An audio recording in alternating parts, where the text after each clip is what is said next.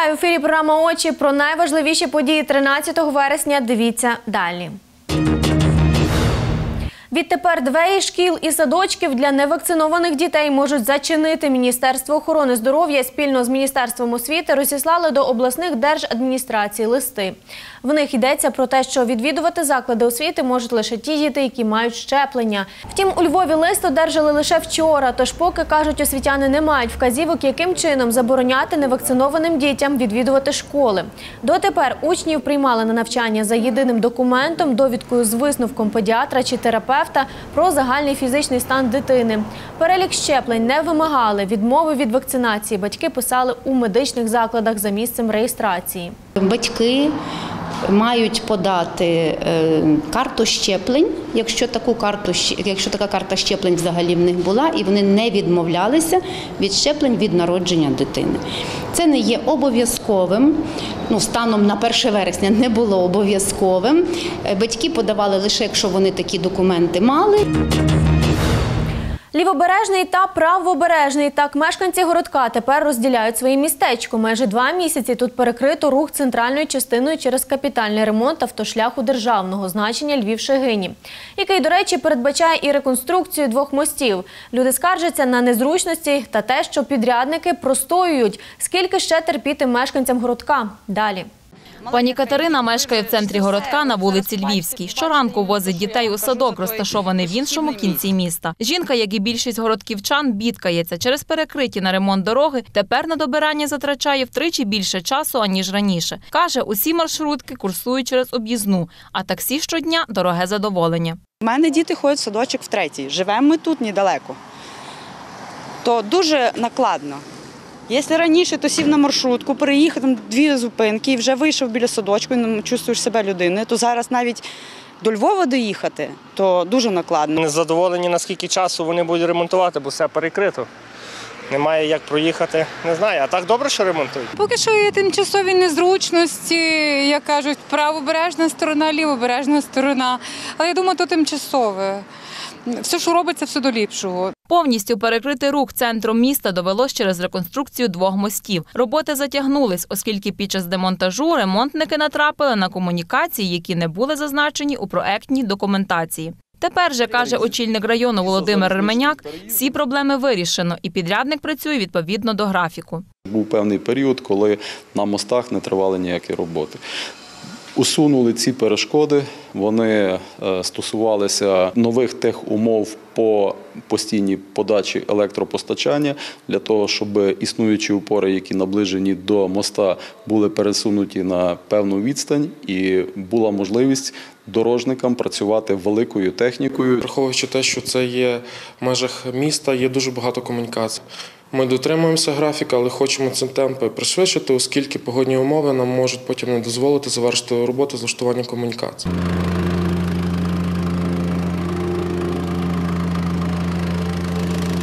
Представник компанії підрядника зазначає, відкрити дорогу для проїзду зможуть не раніше листопада. Наразі завершують облаштування тротуарів з однієї сторони шляху та прокладають дощову каналізацію. Опісля розпочнуть стелити асфальт та встановлювати освітлення. Роботи були розпочаті в червні цього року. Зараз е, на даному етапі виконано 40% по тротуарах, е, 30% по дощовій каналізації, 100% по фрезеруванню. Відповідності до проекту, згідно плану, роботи мали виконуватися на протязі двох років.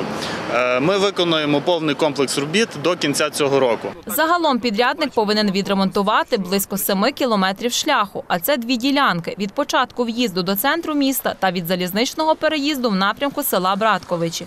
На цьому відтинку вже частково прокладено перший шар асфальту.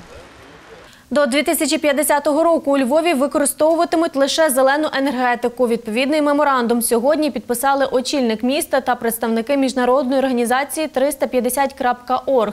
Це компанія, яка займається пошуком рішення проблеми глобальної зміни клімату. Адже через використання природних копалин в атмосферу потрапляє надмірна кількість вуглекислого газу. Через це посилюється парниковий ефект та з'являються кліматичні аномалії. Аби не допустити екологічної катастрофи, у мерії повинні розробити та затвердити енергетичний план міста, залучити до співпраці громадськість, прийняти кліматичну стратегію та втілити її у життя. Що це означає? Це максимальна підтримка електротранспорту. Це максимальні інвестиції в очисні споруди, в новітні технології, які дадуть можливість не використовувати нафту, не використовувати газ, а це енергія сонця, енергія вітру. Львів став першим великим містом в Україні, у якому підписали зелений меморандум. До ініціативи перейти на використання відновлювальної енергії вже долучились менші міста – Житомир, Кам'янець-Подільський та Чортків. Освітяни, психологи та релігійні діячі говорили сьогодні про виклики та завдання сучасної родини. У Львові відбувся обласний форум сім'ї. Ініціатори запрошували усіх охочих, адже під час панельних дискусій обговорювали теми цікаві як для підлітків, так і для батьків та соціальних працівників. Такий захід у місті організували вперше. Насильство та непорозуміння в сім'ї. Як їм запобігти, а не працювати уже з наслідками? Чи не всі спікери форуму переконані, якщо розповідати батькам про виховання та сімейні цінності, то кризи в родині легко оминути. Має бути сформована національна сімейна стратегія, яка буде е, популяризувати цінність сім'ї, е, і щоб не виникало і не загострились ті кризи, які е, спровоковані соціальним сирітством, або великою кількістю абортів, розлучення. Акцентували не лише на проблемах, а й на можливостях сучасної сім'ї. Представили, приміром, нову для Львова послугу асистування. Це означає, що психолог або соцпрацівник працює разом з подружжям, аби вони могли подолати непорозуміння. Тобто не зробити щось заради родини чи для родини, не е, оплатити певні якісь послуги чи дати їй певну, вибачте мені, подачку, а підтримати їх в складному життєвому етапі, щоб далі вони були знову самодостатніми і функційними. Той час, коли підліткам розповідали про гендерну ідентичність, для жінок підготували цікаву дискусію про реалізацію жіночого лідерства. Не забули й про тих, хто прийшов з дітьми. Про виховання дітей цікаво. Ну і взагалі про сім'ю зараз дуже складні. І діти є, дуже ростуть. Для того, аби батьки могли спокійно послухати поради від психологів, соціальних працівників та освітян, для їхніх дітей у парку організували розважальну зону.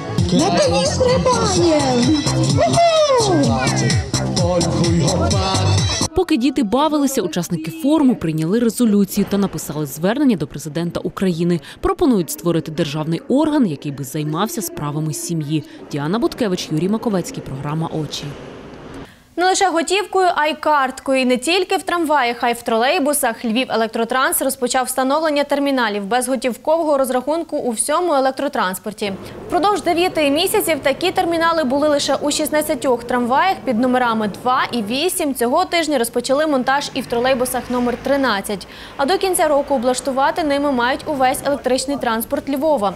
Тож тепер, щоб оплатити проїзд, не потрібно дотягуватись до віконця водія з готівкою і компостувати квиток, а лише провести будь-якою карткою світу по пейпасу. Якщо смайлик на екрані усміхається, оплата відбулась успішно. Якщо ні, сталася помилка. На вимогу контролера, якщо він вам трапляється на шляху, пред'являєте йому свою банківську картку. У нього є термінал, е, де він так само трьома способами, чи магнітною стрічкою, чіпом або ж безконтактно через PayPass може перевірити, проплачували впродовж останньої години цією карткою проїзд чи не проплачували. Щоправда, пристрої недосконалі, не готівкою, а карткою можна заплатити лише за повний квиток. Функції для оплати пільгового немає. Рак докорінно змінив їхнє життя, втім не зламав, аби і інші. Хто має недугу, не опускали руки, шестеро львів'янок взяли участь у фотопроекті «Онковідважні». Особливі моделі самим лише поглядом передали емоції та почуття, з якими жили під час лікування. На відкритті фотовиставки влаштували ще й літературний вечір. Разом із поетесами красиві та відважні прочитали вірші. Ці римовані рядки, пояснили жінки, мотивують жити та боротися. Хто сказав, що я сильна жінка? Сказав, що мене не болить? Підперезана Божим Словом, намагаюсь якось жити. Ірина мама трьох дітей. Із онкодіагнозом живе вже третій рік. Коли дізналася, що хвора, саме бажання бути поруч із сім'єю та бачити, як зростають сини, не дозволило жінці опустити руки. Я написала собі сама свій план порятунку. Я написала, що я повинна зійти з дітьми на Говерлу, відвідати Італію, Іспанію, е, Францію. Далекоглядні плани про те, що всіх трьох невісток маю вчити своїй е, фірмовій страві. Ну і вже багато що з того я буквально за два роки зробила.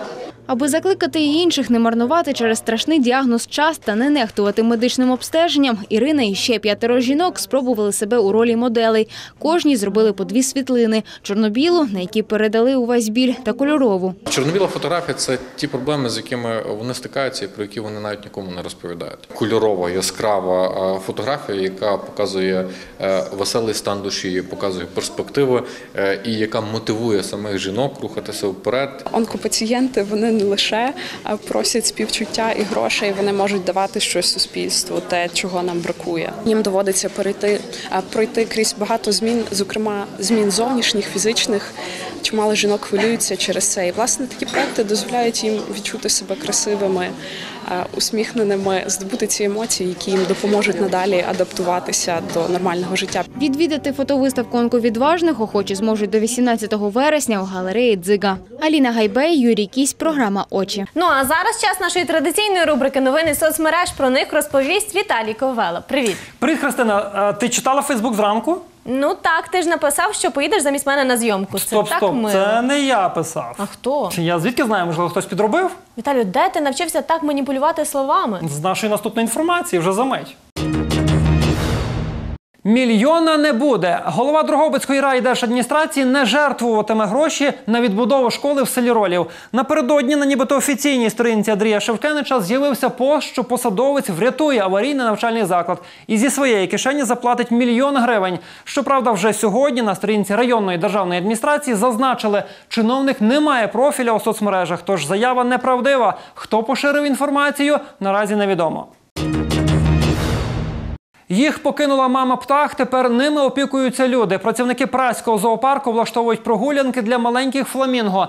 Пташенятам не виповнилося й місяця, втім вони повинні постійно пересуватися. Так тренують м'язи і звикають до навколишнього середовища, адже попереду у них сусідство у вольєрі із дорослими фламінго.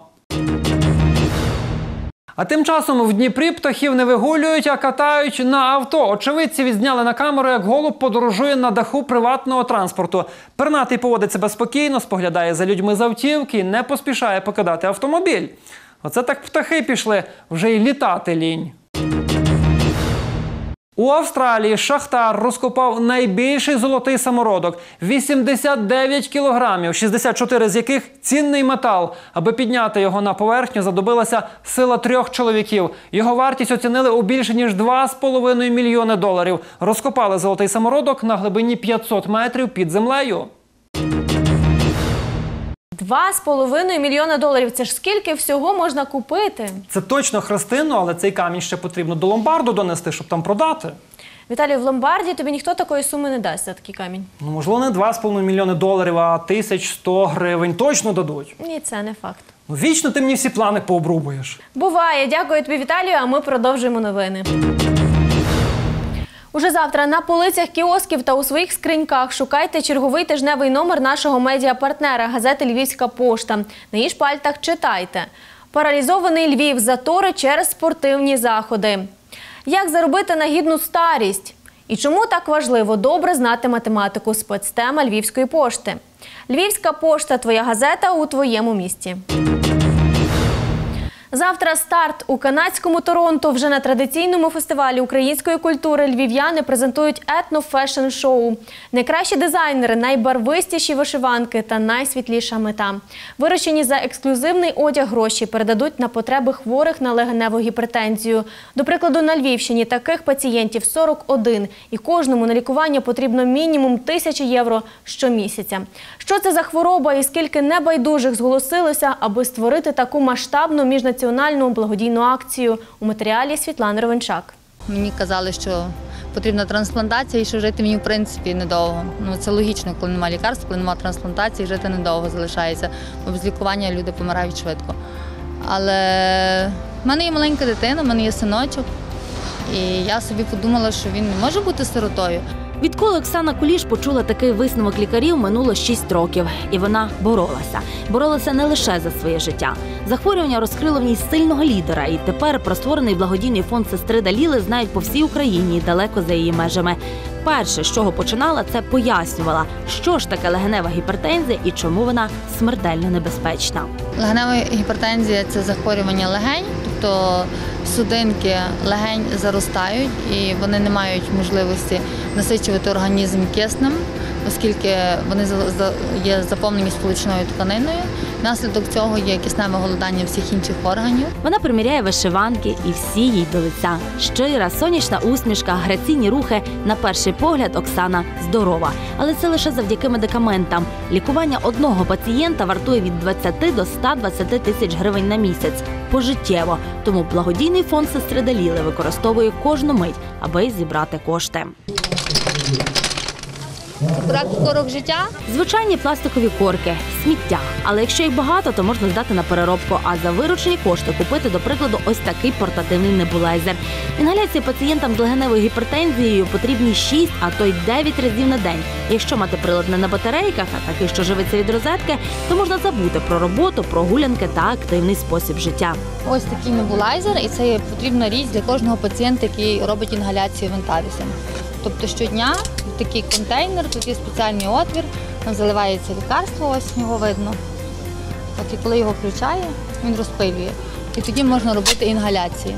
Оксана розповідає про легеневу гіпертензію не лише українцям. Її та ще декількох пацієнток запросили на етно-фешн-шоу під час фестивалю української культури у Торонто. Вони моделі вдягнуть код української нації вишивку, а водночас розкажуть, що ж таке жити із легеневою гіпертензією. Це ніби ви щойно присіли 20 разів і серце вистрибує з грудей. Так хворі почуваються усе життя. Самого типу шити тільки метелики і тільки Butterfly in Blue. Ну, це як назва Можна це організації. показ етноколекції. І. Етно-фешн-шоу назвали символічно Butterfly in Blue. Метелик і блакитні кольори вони передають суть цього захворювання. Тобто в людей, які хворіють на легеневу гіпертензію, тобто у них синіють губи, синіють руки. І е, метелик, ну тут як символ. Того, що довго не живе. Тобто люди без допомоги вони, на жаль, не зможуть прожити достатньо довго. 14 українських дизайнерів, 30-метрова сцена, загалом 9 показів у Торонто. А все заради того, щоб в хворих на легеневу гіпертензію були шанси на життя. Ці всі колекції, що будуть е, показані на етнофешн шоу, потім будуть в шоурумах продаватися. І частина виручених коштів буде е, відправлена канадським благодійним фондом на фонд сестри Даліли для закупівлі е, препаратів, які допомагають людям е, хворих на легеневу. Долучитися й допомогти благодійному фонду сестри Даліли можемо і ми. Кожна гривня це ковток повітря для пацієнтів з легеневою гіпертензією. Світлана Рунчак, Антон Лакіза. Програма Очі. Її терпкість бадьорить, а аромат вабить та надихає. Кава вже давно стала візитною карткою Львова. Сьогодні ж у місті стартував один з найбільших у східній Європі фестивалів, присвячених особливому напою. Свято кави у місті Лева вже 12. Традиційно розпочинається із заварювання напою у величезній джезві. Металева посудина вміщує аж 20 літрів терпкої. У черзі за фільжанкою кави десятки львів'ян та гостей міста із цікавістю дегустують ароматну арабіку. Тільки вона варилася і вже смак відчували. Дуже класно. Глубокое, вот глубокий вкус очень такой, прям до самого-самого нутра, доходит прям туда ж. Посмакувати ароматною охочі зможуть до 16 вересня. Для них на площі перед оперним театром облаштують кавовий ярмарок. Під час святкування у майстерності приготування напою змагатимуться кращі баристи, а ще обиратимуть найкращу кав'ярню. В суботу-неділю відбудеться кавовий тур кав'ярнями, які борються за звання найкращі. Цьогоріч є 11 кав'ярень, які змагаються за- звання найкращої. Вже можна голосувати у Фейсбуці, можна голосувати на сайті фестивалю. Тиждень прем'єр продовжується. Не пропустіть новий проект телеканалу про гроші сьогодні о 21.15. Немає жодних державних грошей, є лише кошти платників податків. І наша Ольга Цап для вас їх підрахує. У першій програмі вона коротко та доступно пояснить, скільки ж коштує українцям війна. Проект про гроші буде дуже цікаво. Не перемикайте.